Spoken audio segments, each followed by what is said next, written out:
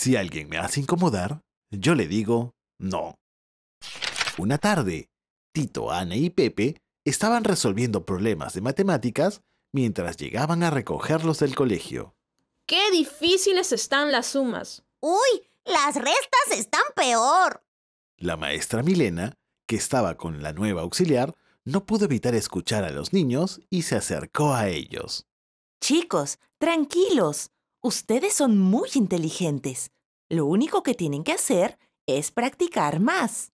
Si quieren, mañana en el recreo les enseño algunos trucos. Los niños se quedaron mirando a la nueva auxiliar porque no la conocían. Niños, ella se llama Victoria y es la nueva auxiliar de disciplina del colegio. Dijo la profesora Milena. ¡Ya llegó papá! Dijo Lucía, llamando a su hermano y a sus amigos. Los niños se despidieron y fueron corriendo al auto del papá. Al día siguiente, en el recreo, Victoria se acercó a Pepe y le dijo al oído. ¿Quieres un premio por ser el campeón de las sumas? Pepe se fue con Victoria a practicar sumas a un salón que quedaba muy lejos del patio. Ya casi al finalizar el recreo, Pepe regresó con una linda pelota pequeña. ¡Guau! ¡Qué linda pelota! Dijeron Tito y Lucía. Sí, me la encontré en la calle ayer. Respondió Pepe, algo nervioso. Pepe, ¿la nueva auxiliar te está dando premios? ¡Shh! No seas acuseta, no te metas. Prometí no decir nada a nadie. ¿Qué? Eres un mentiroso. Tú nos dijiste que te encontrabas cosas o que tus papás te las regalaban.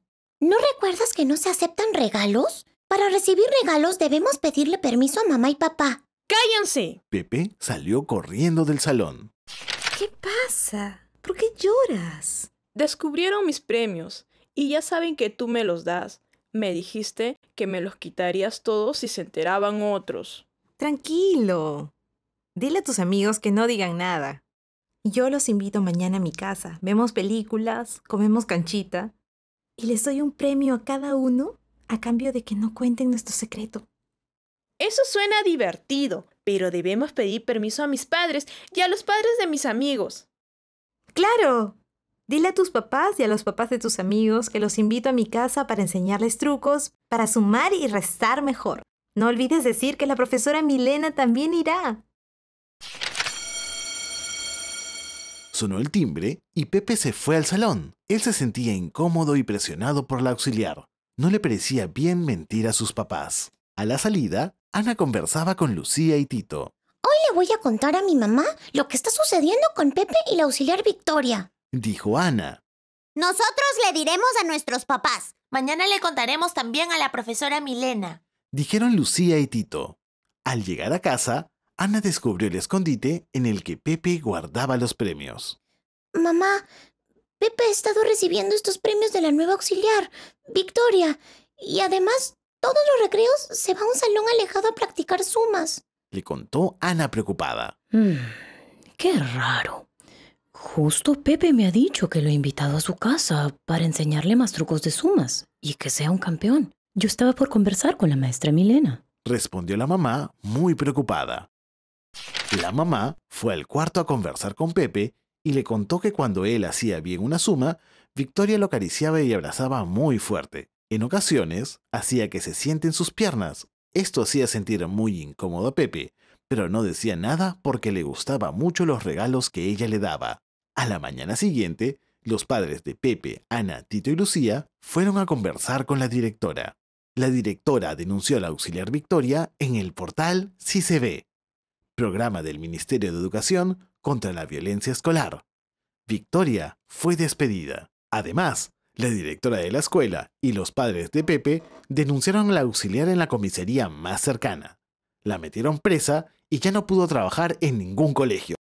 Luego de unos días, Pepe, Ana, Lucía y Tito estaban conversando en el patio. Les cuento que papá nos ha enseñado una canción que dice, Yo sé cuidar mi cuerpo. Sí, dice mi papá que con esa canción aprendió a cuidarse y protegerse.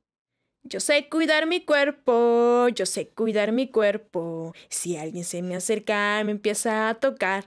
Y aunque lo conozco, me hace incomodar. Yo le digo no, fuerte digo no. Y cuento sin miedo lo que me pasó. Yo sé cuidar mi cuerpo, sé cuidar mi cuerpo. Cuando Pepe y Ana terminaron de cantar, Tito y Lucía aplaudieron con mucha emoción. Cantarles la canción a la profesora Milena y a la directora para pedirles permiso y enseñársela a nuestros compañeros. Así podríamos cantarla todas las mañanas. Sí, de esa manera todos aprenderán y recordarán la canción ante una situación incómoda. Desde aquel día, los niños entonaban muy felices la canción y aprendieron a cuidar su cuerpo.